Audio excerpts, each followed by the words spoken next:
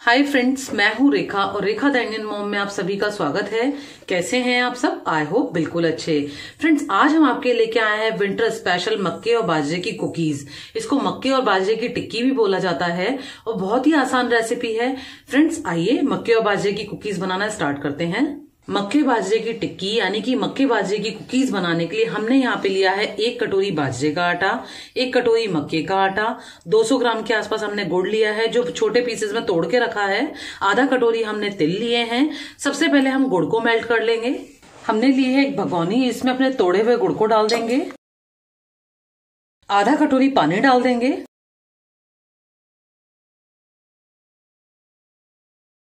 अगर हमें पानी की ज़रूरत होगी तो हम इसमें थोड़ा सा पानी और ऐड कर लेंगे। और देखिए, अभी गुड़ बिल्कुल नया है तो हम इसको इस तरह से दबा करके, इसको जल्दी से ताकि ये घुल जाए पानी में, इसलिए इसको हम इस तरह से दबा लेंगे। पानी को हमें बॉईल नहीं करना है, सिर्फ़ हल्का हल्का गर्म करना है। गुड़ पानी में अच्छी तरह से मेल्ट हो चुका है। अब हम गैस के फ्लेम को बंद कर देंगे और सबसे पहले आटा लगा लेंगे। सबसे पहले हम बाजरे का आटा लगाएँगे। मैंने परात में बाजरे का आटा डाल दिया है। आधा कटोरी तिल लिए थे, इसमें आधे हम बाजरे के आटे में डाल देंगे और आधे हम मक्की के आटे में डाल देंगे। जो हमने गुड़ का पानी तैयार किया है, ये हल्का गुनगुना है। इससे हम आटे को लगा लेंगे।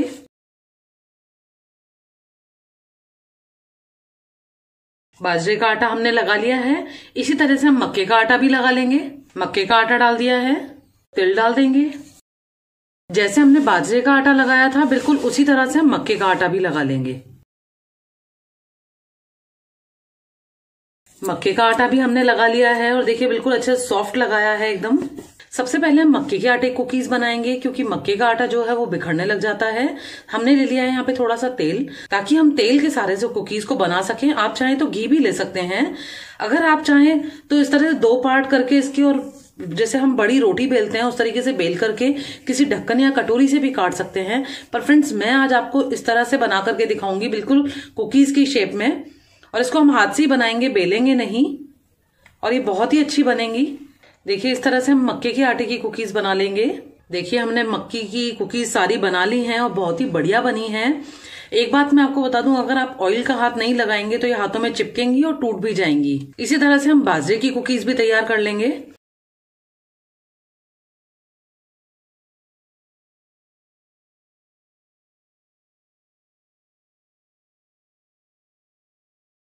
ऑयल गर्म हो चुका है। अब हम सबसे पहले मक्की कुकीज को फ्राई कर लेते हैं।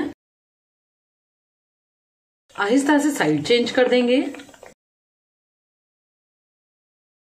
और हमें गैस के फ्लेम को मीडियम ही रखना है, हाई नहीं करना है। हमने साइड चेंज करते हुए मक्की की कुकीज को तल लिया है। और देखिए, बहुत ही बढ़िया लग रही हैं कलर में भी। और खुशबू भी अच्छी आ रही है। अब हम क्या करेंगे इनको कढ़ाई से बाहर निकाल लेंगे और इसी तरह से सारी कुकीज को फ्राई कर लेंगे।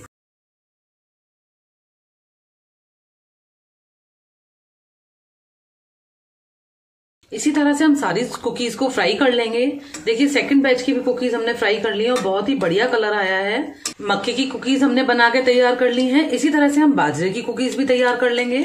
एक चीज़ का ध्यान रखें कि कुकीज को ज़्यादा पतला नहीं बनाए थोड़ा सा मोटा ही बनाए, नहीं तो बाजरे की जो कुकीज हैं, वो फ्राई करने में टूट जाती हैं। देखिए, बाजरे की कुकीज भी कितनी बढ़िया बनके तैयार हुई है। इसी तरह से हम सारी कुकीज को फ्राई कर लेंगे।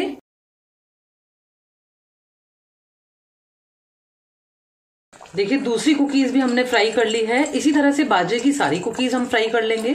हमने सारी मक्के की और बाजरे की कुकीज बना के तैयार कर ली हैं और देखिए, कितनी बढ़िया बन के तैयार हुई हैं और बहुत ही क्रिस्पी भी हैं।